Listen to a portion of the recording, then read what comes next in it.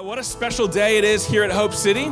Today uh, is not only Mother's Day, we're celebrating mothers, of course. We're glad that, that you guys are here and spending that day with us, but we also have the privilege of celebrating child dedications this morning uh, in service. We have two families that I want to help you, or how have you help me, welcome to the stage. So uh, we want to welcome the Bennett family and the Hernandez Martinez family. If you guys can make your way on up here.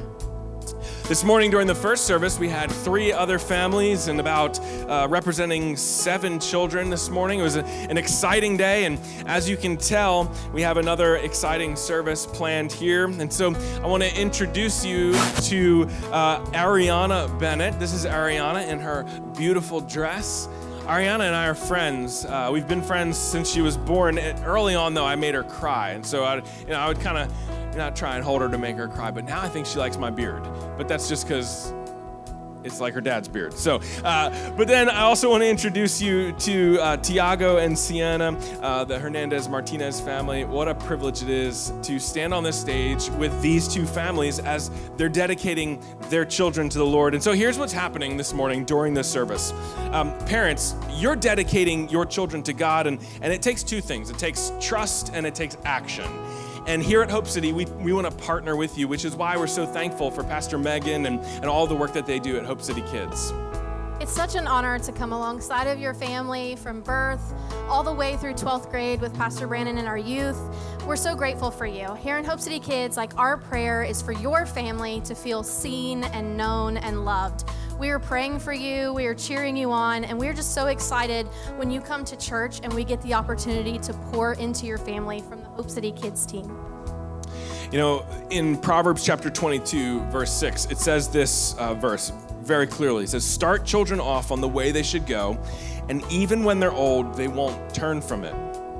This, this verse highlights uh, for you as parents the importance of guiding your children in the right direction from the very beginning. You set the tone, you set the path uh, for the direction of their lives.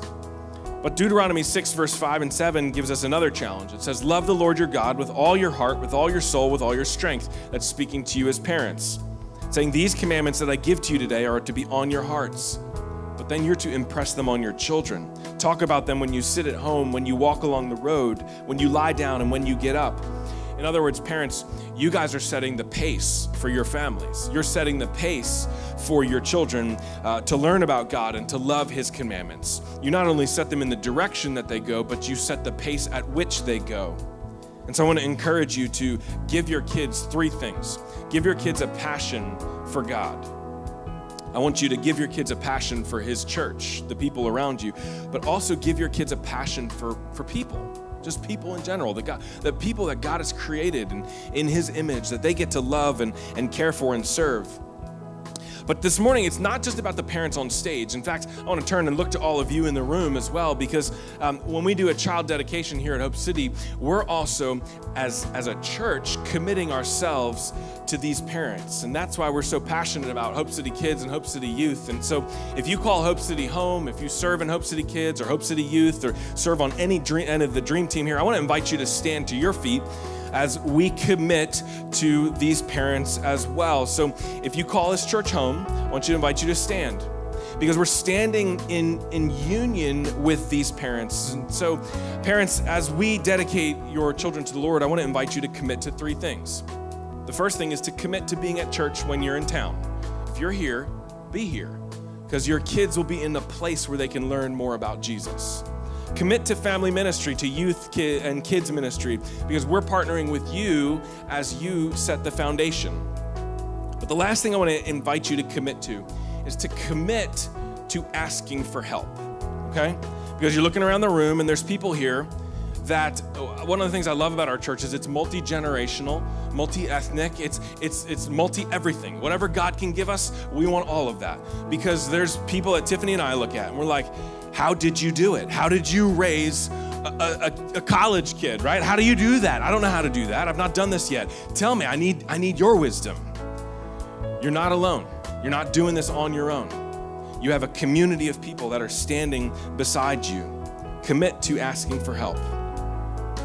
And so I want to pray over you as you dedicate your children to the Lord. And, and church, I want you to pray alongside of me as we, we we bring these kids before the Lord. So, Father God, I thank you for the gift of children. God, thank you for entrusting us uh, with the role of being their parents. And so, Father, I pray over these two families. God, I pray for wisdom and guidance and endurance for these parents, endurance for the long haul. God, I pray that their homes would be filled with your presence and with your peace. Father God, strengthen their relationships, strengthen their marriage. God, I pray that you would bless their children with health and joy and a heart that seeks after you. God, may these kids come to know you personally as their Lord and Savior at a young age. And God, would they walk with you closely all the days of their lives?